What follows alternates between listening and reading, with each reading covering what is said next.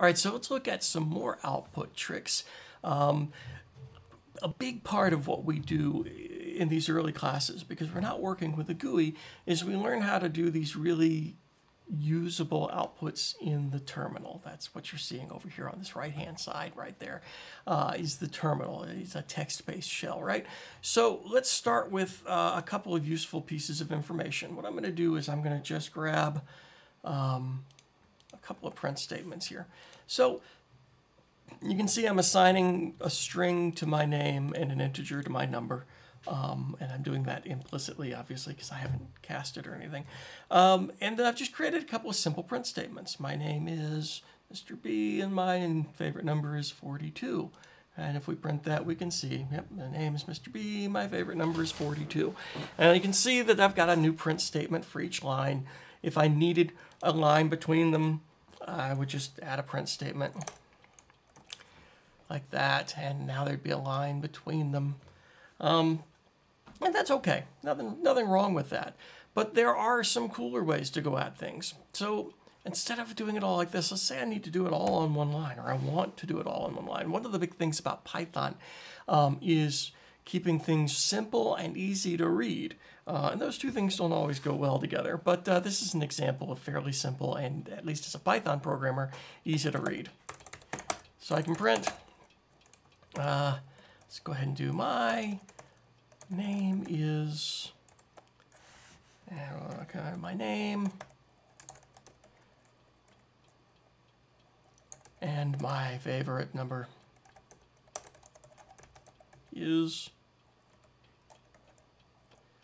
my number. All right, let's take a look at that. Same thing. And Mr. B, I have numbers 42. I don't like this. That that second part is running off, right? You can see how it's wrapping. That bugs me. So what I'd really like to do is put it on two different lines. My name is Mr. B, and on the second line, my favorite number. But I, instead of doing a bunch of print commands, because frankly, that's just a lot of typing, um, I'm just going to put an escape character in there. So what's an escape character? This thing right here. That goes inside of our string literals, but it's actually a piece of code that tells Python something special. In the case of a slash n, any guesses? New line. So now when I run this, my name is Mr. B. My favorite number is 42. That slash n is an unprinted character. It's not visible. Now we're going to learn how that causes some problems later in the course. Um, but that's a, a, really easy way to add extra information um, without it. So you can also see when I do this a couple of times, they kind of wrap on each other, right?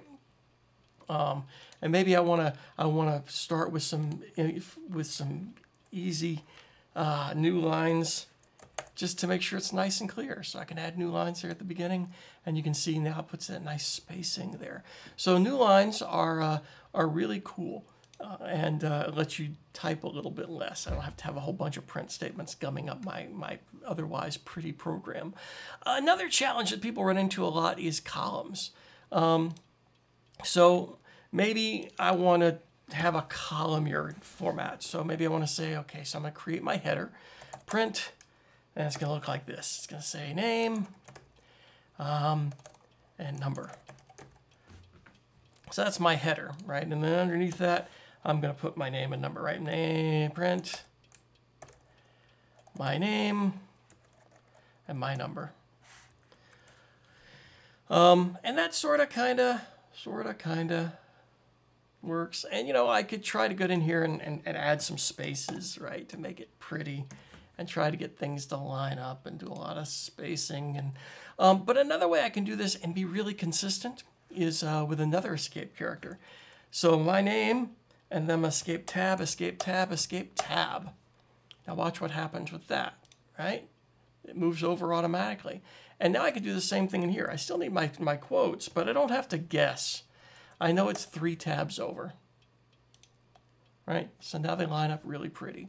Um, and then if I want to do the hard work of, of adding things in there, you know, I could print and try to make a, a literal line here, right? Um, and I might have to do some guesswork then to get the right length. Um, it's not quite long enough, so we'll add some more there. Now there are other ways to go at it, but this is this is the the quick and dirty. I'll just add a few more there. until I get where I want it. Still not quite enough asterisks there to make a pretty line. Let's try that. There. So now I've got my name, my number, and my columns underneath it. And uh, if I'm bugged by the fact that there are a need for new, more lines at the end, you know, I could certainly add a couple of new lines there um, to get that down. Oops, sorry. Inside. Um, to get that all, yeah, so comma, asterisk, new line, new line. There we go. That should work better. And I did everything all nice and pretty. And I could certainly add some up here to do the same thing to get that all as one nice box. Um, let me put that up at the top for you. You can see a nice box, right? So there are all kinds of ways I can go at this, but that's a couple of, uh, of useful escapes that come in handy a lot.